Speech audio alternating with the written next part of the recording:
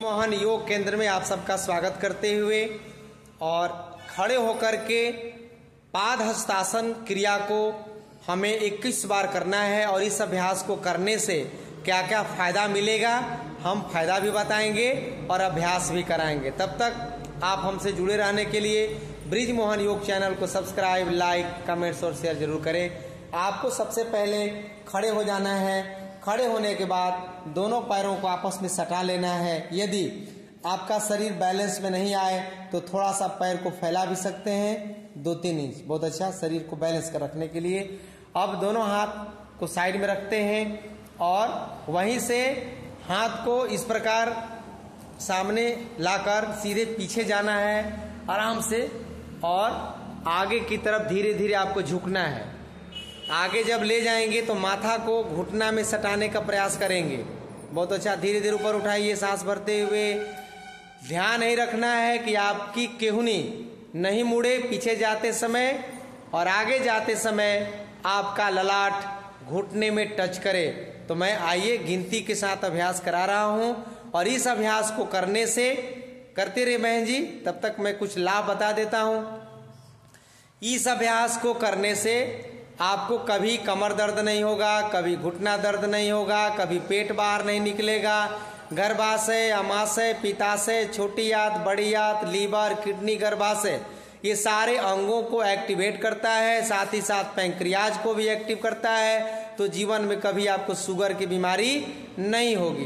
तो आइए, लेकिन सावधानी क्या बरतना है? यदि किसी व्यक्ति को कमर दर्द है अभी वर्तमान में, वह व्यक्ति आगे झुकने वाला अभ्यास नहीं करना है, नहीं तो उनका कमर दर्द बढ़ जाएगा। अब इसकी शुरुआत करते हैं गिनती के साथ। चलिए, एक। मुस्कुराते हुए। ये तो अभी बोनस में हो रहा था, मैं तो बता ही रहा था कि कैसे किया जाता है। और बहन जी को लगा कि मैंने लास्टे हो गया। चलिए स्टार्ट करिए। एक, दो, पूरा पीछे जाइए। तीन मथवा को सटाइए बहन जी, ठेहुनवा में। तीन, चार, पाँच, छ, सात आठ, नौ, दस, ग्यारह। धीरे धीरे कब थोड़ा करिए, ग्यारह बार। आराम से दो, तीन, चार, पाँच, छ, सात, आठ, नौ, दस, ग्यारह। अब पैर को फैला लीजिए, इसका दूसरा स्टेप ले लेंगे। पैर को थोड़ा फैला देते हैं, दो फीट की दूरी, और हाथ को पूरा पीछे ले जाइए, और दोनों हथेली को अपने पैर के गैप से पीछे की तरफ़ ले जाना होता है। ये पहले वाले से बहुत आराम वाला आसन है। ये देखिए, कितना सुंदर अभ्यास।